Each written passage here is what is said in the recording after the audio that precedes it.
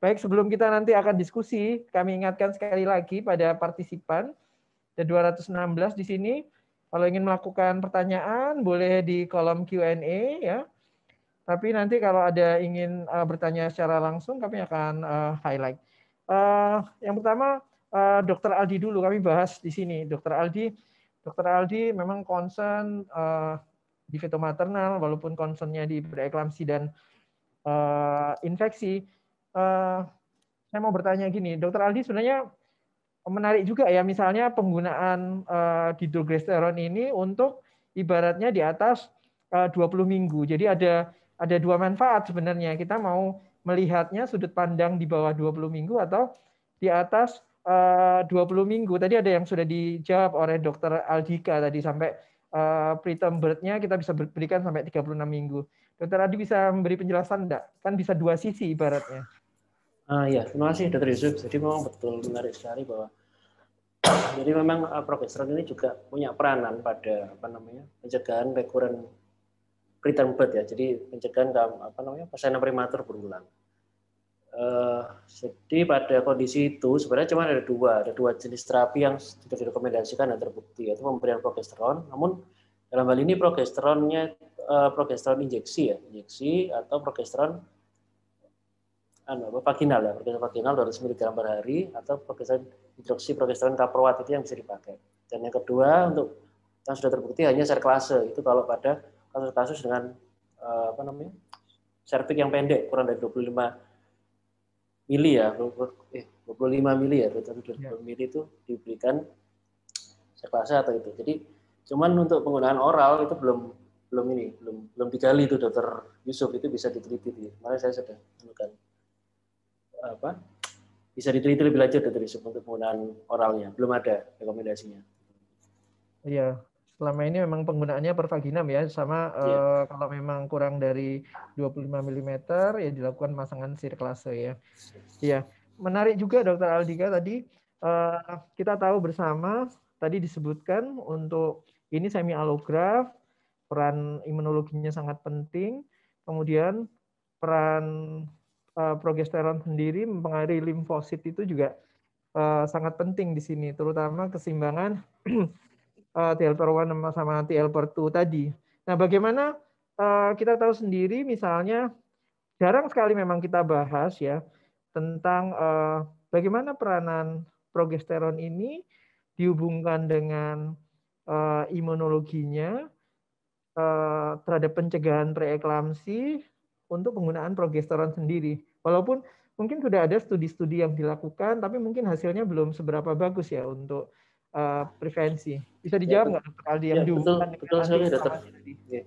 Betul sekali, Dokter Yusuf. Jadi, jadi saya katakan bahwa progesteron itu di awal sangat penting ya. Dia juga mempengaruhi uh, apa namanya perubahan vaskuler dari dari uh, plasenta. Di situ progesteron sangat penting. Dia mempengaruhi juga NK cell. Seperti ketahui bahwa NK cell itu ternyata sangat penting untuk invasi trofoblast, kemudian remodeling arteri vas apa remodeling arteri spiralis itu semua kan yang akhirnya nanti kalau ini gagal akan berujung pada great obstetric syndrome jadi saya katakan bahwa preeklamsi, UGR, prematur itu dari sana salah. Jadi sebenarnya sangat logis kalau kita berpikir pemberian progesteron bisa mencegah hal tersebut. Namun sayangnya sampai sekarang hasilnya masih belum belum terlalu memuaskan. Mungkin mungkin kesulitannya ini pemikiran saya pribadi. Apakah memang itu hanya hanya efektif pada orang-orang yang kadar PFBF-nya atau progesteron rendah gitu loh, Mungkin atau mungkin penelitian yang berjalan itu belum selektif, hanya di semua di apa semua dengan riwayat preeklamsi dimasukkan yang kita tahu preeklamsi atau misalnya ketopsetis sindrom itu penyebabnya banyak sekali gitu loh. Jadi mungkin bisa biasnya di sana. Mungkin dokter Yusuf kan juga S3-nya tentang preeklamsi ya, mungkin bisa bisa yeah.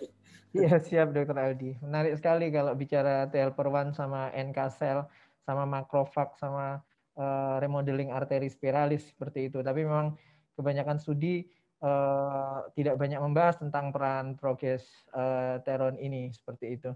Baik, kita diskusi mulai sudah mulai ada lima pertanyaan dari Q&A. Kami bacakan. Uh, nanti kami bisa berikan juga sama Dr. Seto, sama Dr. Aldi. Pertanyaan pertama, uh, pemberian progesteron trimester 1 apa berpengaruh terhadap penentuan jenis kelamin nantinya? Ada jawaban Dokter Alji? Saya Pak Dokter Setan. Ya, nanti Dokter Setan nambahin ya. Yang saya baca sih baru penelitiannya baru sedikit Dokter Setan ya dan memang dikatakan aman sih tidak tidak pengaruh pada awal kehamilannya. Oh enggak Dokter Setan gantian. Tidak Dokter Setan. Iya, terima kasih Dokter Aldi. Uh, jadi sebetulnya kalau apakah penentuan kehamilan ya kita tahu sendiri yang sejak awal penentuan kehamilan apa penentuan jenis kelamin ini kan sudah sudah terjadi sejak awal konsepsi jadi sejak awal fertilisasi ya tentunya jadi kromosom apa yang dibawa oleh sperma yang membawa atau yang akhirnya berhasil melakukan fertilisasi terhadap uh, oosit yang matur. Jadi tentunya tidak ada. Yang ada adalah yang tadi sering kali uh, kita temukan juga bahwasanya penggunaan-penggunaan progesteron yang uh, derivat dari testosteron. Nah, itu yang akhirnya sering kali juga bisa uh, mempengaruhi atau terjadinya virilisasi. Jadi ada uh, mereka selain dari sifatnya, selain dari sifatnya uh, yang anti androgenik atau mungkin sifatnya terlalu androgenik, tapi Eh, sering kali jadi tergantung kalau misalnya pada penggunaan pada janin perempuan misalnya terus kemudian kita uh, menggunakan uh, terapi atau jenis preparat progestin yang dengan androgenik yang kuat tentunya juga akan mengaruhi atau bisa membuat akhirnya virilisasi dan juga hiperandrogenik. Jadi itu yang sangat kita hindari. Jadi tadi sudah ditampilkan juga oleh Dr. Aldi juga. Jadi hanya ada kalau salah dari sekian banyak itu yang untuk kehamilan ya paling aman ya memang cuma tiga golongan. Jadi ada dua tadi retrogesteron jadi yang uh, oral progesteron atau yang dihidrogeston atau yang uh, propiano tadi. Jadi memang sebaiknya kita hindari. Yang mohon maaf yang kita kadang sering kita temukan mungkin tidak dari sejawat ya tapi dari bidan dari dari sejawat bidan. Kadang kita beberapa kali menemui mereka yang dikonsulkan ke kita, terus kemudian kalau karena ada keluhan flek-flek di awal, terus kemudian sudah diberi terapi lebih dulu, tapi golongan progesteron yang yang androgenik atau yang golongan testosteron. Nah ini yang harusnya kita hindari. Mungkin itu dokter Yusuf. Baik ya. Jadi sesuai dengan sebenarnya penentuan jenis kelamin ini ya sejak pembuahan itu terjadi ya dokter Seto ya. Jadi benar sekali ya. Jadi uh, mungkin yang ditanyakan tuh uh, yang terjadi virilisasi. Jadi laki-lakian untuk pada uh, bayi perempuan ya. Uh, pertanyaan selanjutnya, uh, Dokter Aldi dulu, nanti bisa sama Dokter Seto juga. Ini mungkin berhubungan dengan resiko tinggi, mungkin RPL pertanyaannya ya. Mulai kapan kita sebaiknya memberikan preparat progesteron ini? Dan tadi kalau rutenya kita sudah tahu bahwa oral dan vaginal mungkin tidak berpengaruh. Monggo Dokter Aldi. Ya nanti tadi sesuai yang disampaikan Dokter Seto tadi ya, Ferry tadi ya terus ya? Nanti mungkin tersetor melengkapi. Jadi kalau yang bisa diberikan saya sejak awal ya. Kalau pada wanita dengan risiko tinggi keguguran bisa diberikan sejak awal tapi mungkin uh, lebih awal apa namanya kita ketahui pada usia 7 sampai 11 minggu tadi kan terjadi detail shift itu di mana yang sangat penting sekali di sana sering terjadi gangguan ya tersetor ya gangguan kadar kolesterol. Sehingga perlu sebisa mungkin sebelum itu sudah kita. Jadi dosisnya tadi kan sama ya, dosisnya sama kalau dari Ferry tadi boleh pervagina, boleh oral. Namun tadi yang dari presentasi saya memang beberapa menunjukkan bahwa yang oral uh, sistematik apa meta analisa dari Liu, Li ya, Li tadi 2020 bahwa bisa menurunkan risiko keguguran pada yang oral, namun yang pada yang vaginal sih tidak tidak terlalu signifikan. Tapi ya dari Ferry boleh semua ya dokter ya. Monggo mungkin di dokter lanjutkan. Iya. Silakan. Iya, terima kasih. Ini uh, pertanyaan sangat bagus. Jadi pada RPL sering kali yang mungkin ada pesan yang lebih baik lagi. Artinya sering kali uh, memang uh, dari penelitian yang terakhir, jadi uh, dihidrogeston atau mungkin sejauh atau uh, preparat progestin ini sebenarnya bermakna pada RPL yang kita tidak temukan adanya penyebab lain, gangguan lain. Jadi yang kita ketahui bersama bahwasanya ada tiga besar penyebab utama dari recurrent pregnancy loss. Jadi yang pertama itu adalah gangguan anatomi, baik misalnya gangguan anatomi yang sejak awal, contohnya adanya uterus di delvis atau ada septum vagina, atau kemudian juga yang oleh karena dalam perkembangannya uh, usia reproduktif, contohnya mungkin ada polip atau miom submucus. Kemudian yang kedua itu oleh karena adanya gangguan koagulopati. Jadi koagulopati biasanya sering kali ada protein C, protein S, atau mungkin ya kehamilan sendiri sudah uh, kondisi hypercoagulability state. Jadi pada mereka yang itu uh, sering kali yang ketiga adalah oleh karena autoimun. Mungkin uh, kalau contohnya pada lupus, dokter Aldi ini ahlinya, maka itu yang sering kali. Nah, ini tiga faktor ini yang sering kali uh, terlewat. Uh, kita. Jadi kita sudah, mohon maaf ya, mungkin saya juga dulu di awal-awal sudah langsung fokus atau bahkan sampai ke telinga pasien-pasien selalu sedikit-sedikit selalu pikirnya torch, selalu pikirnya torch. Jadi uh, sedikit sudah dicek itu. Padahal kalau dari uh, kalau mungkin sering di internet banyak jadi faktor risiko rekam pregnancy loss itu infection itu hanya 1 sampai 2 persen. Jadi eh, boleh kita periksa, tapi alangkah tidak etisnya kalau kita melewatkan Eh, dari faktor-faktor yang lebih utama tadi. Nah, di mana tempat atau uh, peranan dari progestin ini? Peran progestin ini adalah mereka yang mengalami unexplained. Jadi artinya ya kita sudah melakukan, kita mengevaluasi dari faktor-faktor tadi, faktor anatomi, faktor koagulopati, atau mungkin adanya uh, atau imun tadi. Kalau semuanya memang sudah disingkirkan, baru memang uh, preparat progestin ini ada tempatnya ya sama seperti mungkin kalau unexplained fertility atau mungkin yang lain nah itu baru kita ada tempatnya. Jadi kalau kapan diberikan ya memang sudah sejak awal sampai paling tidak itu tadi sudah diambil alih oleh uh, plasenta di usia kehamilan sampai 11 minggu. Mungkin itu dokter Yusuf. Ya, jadi apa ibaratnya kita harus tahu kondisinya ya biasanya wanita juga hamil datang di minggu ke-6, minggu ke-7. Jadi ya mulai kita mulai sebenarnya ya pemberiannya bisa jadi seperti itu karena lihat perjalanan hormonnya juga. Nah ini mungkin untuk dokter Seto, termasuk komplain ini dokter Seto, pertanyaan dari dokter Umuhani, uh, oral lebih mual, apa apa benar seperti itu? Bagaimana dengan komplainnya kalau hal ini terjadi seperti itu dibandingkan lewat vaginal?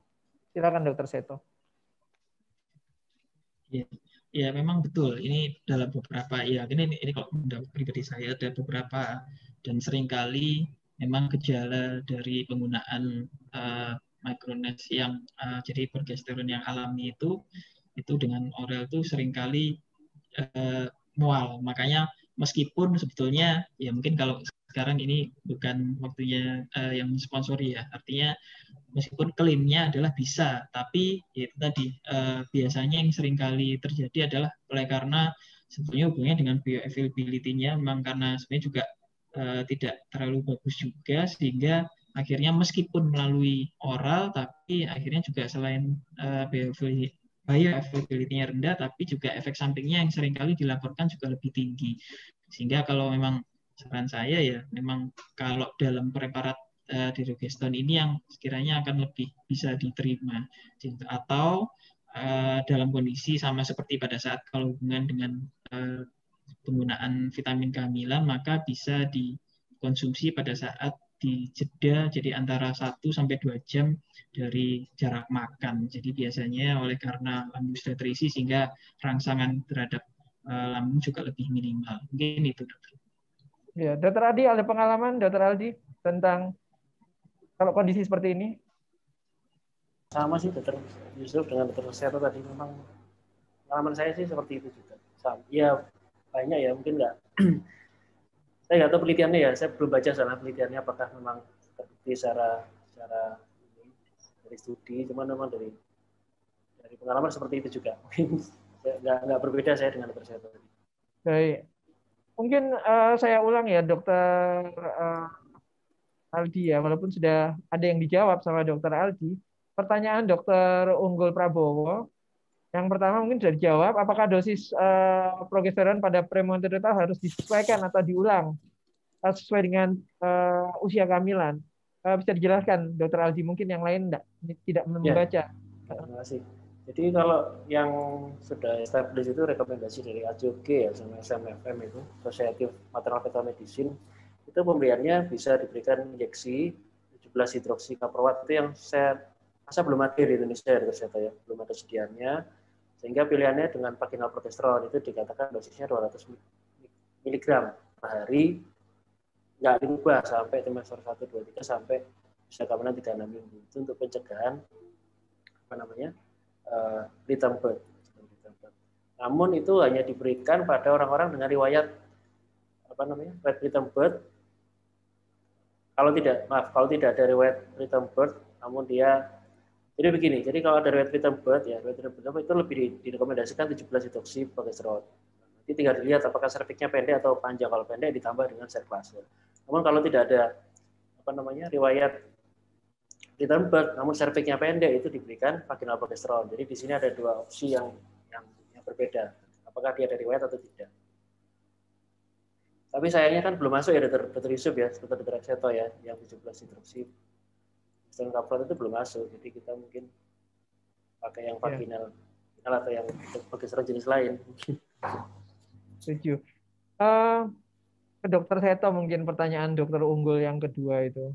Nah pasiennya ini tidak mau yang dikasih uh, progesteron per vaginam ya. Bagaimana kita meng-KIE-nya tadi ya? Selain tadi uh, jarak minumnya atau ada teknik tersendiri enggak pada kondisi seperti ini? Ada pengalaman dokter Seto?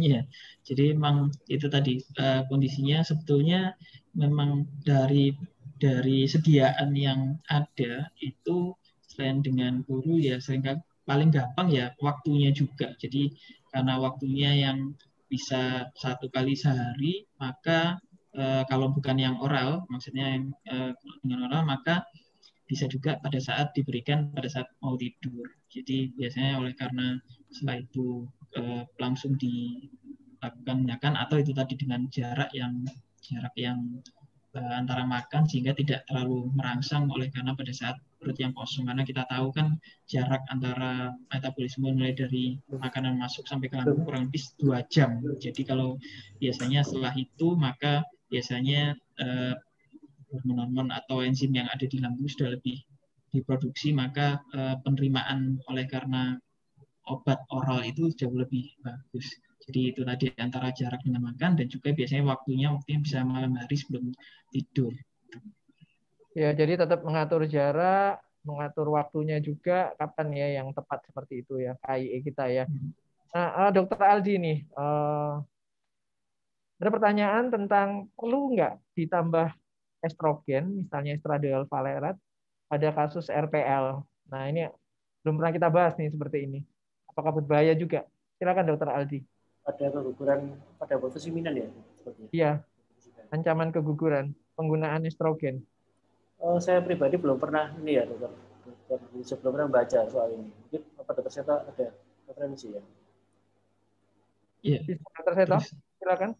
Iya, terus. Oke terus terang kalau untuk pada saat kondisi sudah kondisi ancaman uh, hamil tentunya saya tidak ada pengalaman juga sama saya juga nggak lihat posisinya cuman kalau ya saya dari uh, reproductive gynecology itu biasanya kita lakukan pada saat kita evaluasi misalnya uh, pada mereka yang melakukan melakukan inseminasi atau mungkin pada yang uh, towing jadi IVF yang bukan natural cycle, maka kita evaluasi juga penebangan dinding rahim supaya reseptivitasnya lebih baik. Tapi kalau pada kondisi hamil, saya tidak pernah menemukan ada pengalaman untuk penggunaan uh, misalnya preparat uh, estradiol pada saat kehamilan. Mungkin itu.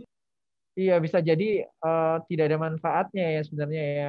Bagaimanapun juga kalau sudah hamil ya kita bicara hormon-hormon yang pro kehamilan tentunya ya. Uh, seperti itu. Uh, pertanyaan berikutnya dari Dr. Aryo. Uh, ada rekomendasi pemberian progesteron pada kehamilan dengan uh, mungkin usia di atas 35.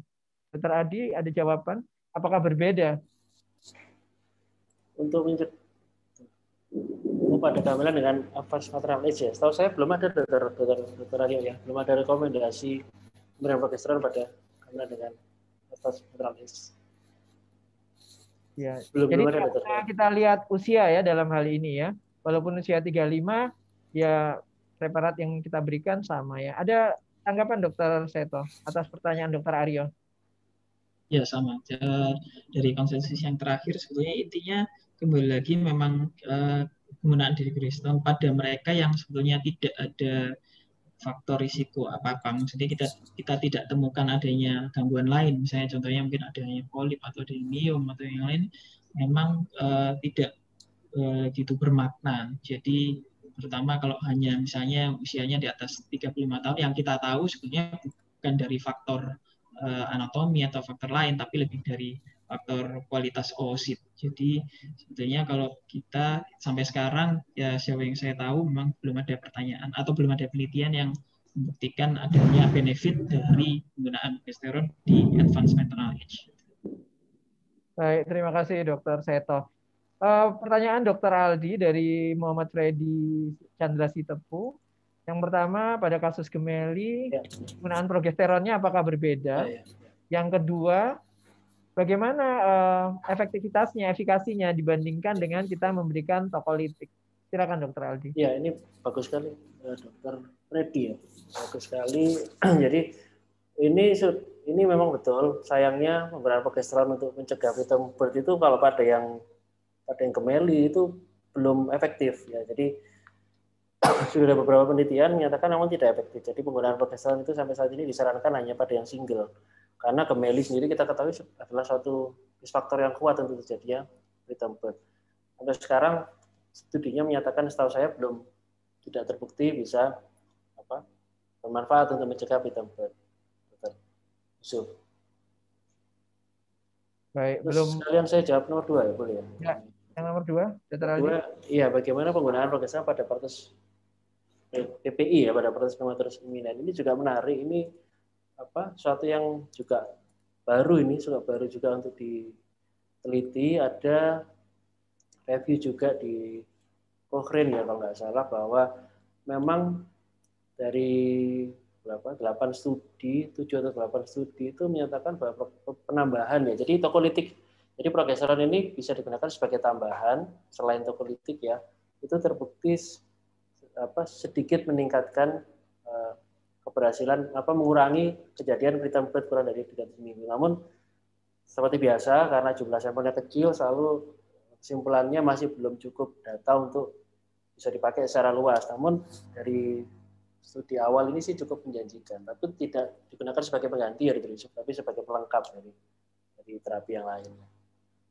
Jadi jadi sifatnya saling melengkapi. Ya, cuman cuman tetap guideline guideline guideline internasional untuk PPI tetap belum belum menggunakan progesteron. Baik ya. Uh, sebenarnya untuk masalah keguguran berulang di Ferry sendiri ya Dokter Seto sudah ada rekomendasinya ya mungkin sejawat-sejawat uh, bisa mendownloadnya atau membaca kembali ya. Uh, Dokter Seto ada tanggapan atas pertanyaan Dokter Freddy tadi?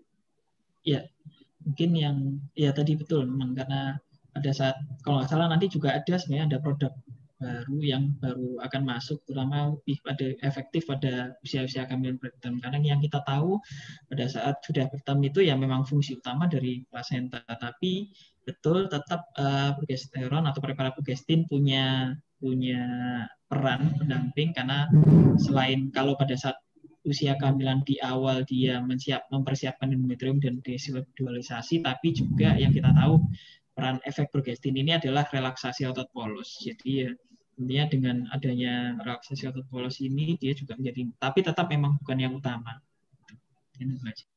Baik. Terima kasih. Ini ada Dokter Eka Nasrur, ini untuk Dokter Seto. Eh, pemberian progesteron jangka lama ini ada efek nggak ke janin? Mempengaruhi eh, ada sesuatu yang akan terpengaruh nggak? Apakah nanti setelah bayinya lahir ada usia di atas tahun atau gangguan-gangguan yang muncul pada studi seperti itu dokter Seto penggunaan jangka panjang ya. ya. terima kasih mungkin nanti juga ditambah oleh dokter Adi ya jadi uh, kalau secara jangka panjang memang kita belum ada bukti adanya gangguan bagaimanapun juga ya namanya tadi sudah dijelaskan di slide dokter Aldi di awal bahwasanya progesteron ini progestasi ini maka sebetulnya dia justru uh, memang Eh, berguna untuk menjaga kehamilan itu tetap relaksasi dan di akhir kehamilan memang ini juga menjadi salah satu teori bahwasanya kadar progesteron yang kemudian menurun ini yang menjadi salah satu uh, fungsi atau pertanda adalah dimulainya proses persalinan. Jadi itu tadi kenapa menjadi salah satu alasan pendukung untuk uh, terapi pada kasus partus prematur apa partus prematurus jadi atau PPI. Tapi kalau mengenai efek jangka panjangnya sampai saat ini tentunya kita belum uh, bisa ada bukti, tapi minimal untuk mereka yang penggunaan yang tadi tadi yang sudah ada tiga golongan utama tadi yang gunanya. Tapi kalau pada yang jangka panjang, jangan sampai kita kita jangan salah sampai kita gunakan uh, progesteron yang golongan atau sintetik dari uh, testosteron ya. Tentunya tadi sangat berpengaruh pada kondisi janin. Ya. Dokter Aldi ada tanggapan efek jangka panjang? Iya benar dokter. Uh, sesuai dokter saya tahu. Jadi memang ada beberapa studi sih, ada beberapa studi memang bahwa efek jangka panjang itu mereka nyatakan penelitian ada penelitian cukup banyak ya. Jadi nggak banyak, maksudnya jumlah sampel cukup banyak sekitar 1.500an itu bahwa memang ada efek tidak ada efek yang berbahaya diikuti selama sampai 8 tahun setelah lahir. Jadi dia diberikan progesteron sejak selama trimester 2 trimester 3 pada ibu-ibu yang ada ancaman prematur itu diberikan. Progesteron diikuti bayinya sampai 5 tahun atau 8 tahun saya itu bahwa itu tidak ada efek samping yang berbahaya. Namun dia tanda kutip ada harus hati-hati ke arah jantung. Nah, itu mungkin perlu diteliti lebih lanjut. Namun secara itu tidak tidak signifikan. Secara neurologis, secara apa behavior, secara kecerdasan nggak ada nggak ada masalah dan organ juga nggak ada masalah. Ya. Baik, karena penting sekali ya. Mungkin kita yang di sini, kita yang bekerja di bidang ini, ya jadi kewajiban kita tidak hanya melahirkan bayi nangis, artinya urusan kita selesai, bukan seperti itu ya. Kita yakin bersama tapi bagaimana dia tumbuh kembangnya, bagaimana dia masa sekolahnya, Nah, itu menjadi pasti menjadi concern kita. Uh, apakah Dokter Pandu ada ini yang uh, mau bertanya secara langsung? Kalau tidak ada, karena diskusi kita sudah lebih dari setengah jam. Sebelum nanti Dokter Aldika dan Dokter Arif Tunjung Seto ada close uh, statement. Sebenarnya ini ada beberapa yang raise hand, dokter. Mungkin ditawarkan satu atau dua. Mungkin kalau ada yang mau bertanya secara live. Di sini ya. ada Dr. Ririn, Dr. Muhammad Reza, Dr. Iva, dan Dr. Putu Suwarta. Kami kami mohon kepada tim IT untuk mempersilahkan uh, ya silakan yang ingin bertanya bisa menyalakan kamera dan Dokter Joko mungkin Dokter Joko mungkin um, bertanya mungkin monggo dok Dokter Joko untuk menyalakan kamera dan mikrofonnya atau Dokter Putu ini sudah Dokter Putu mau bertanya. Silakan Dokter Putu apa Dokter Joko? Uh, sepertinya tidak mungkin ya. Apa yang lain mungkin Muhammad Reza atau Dokter Iva mungkin? Oh ya baik. Uh, kami ini aja. Jadi mungkin ada yang perlu disampaikan terakhir Dokter Aldi terkait penggunaan progesteron ini? Ditanya uh, pernyataan. Hmm, ya, terima kasih Dokter. Jadi memang penggunaan progesteron ini bermanfaat ya untuk orang-orang apa untuk ibu hamil dengan ancaman keguguran, terutama yang eksplin dari Dr. Seto. Dan memang bukti-bukti kalau dilihat memang bisa dari meskipun dari Ferry bisa bervagina maupun oral, namun dari meta analisis, bahwa meta analisis menyatakan memang oral ini lebih dengan dihidrogesteron dengan oral progesteron lebih efek samping lebih ringan dan memang terbukti lebih signifikan ya secara statistik dari meta analisis lebih signifikan. Namun secara umum sih progesteron ini bermanfaat untuk menurunkan ancaman keguguran. Demikian dari saya, Yusuf. Terima kasih. Baik, terima kasih Dokter Aldi. Silakan Dokter Seto, closing statementnya.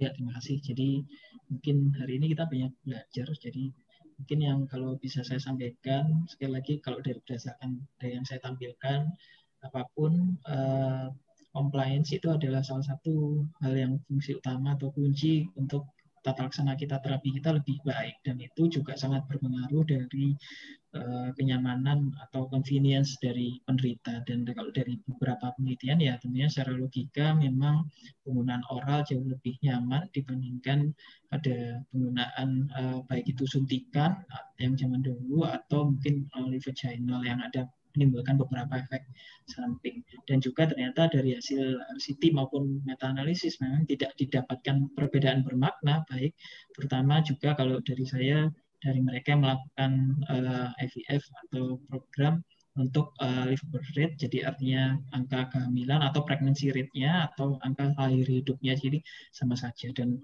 tadi mungkin ada tambahan sedikit mengenai pada kasus-kasus RPL, sebaiknya dievaluasi betul penyebabnya bukan hanya masalah penggunaan dia uh, progestin saja, tapi kausa utamanya.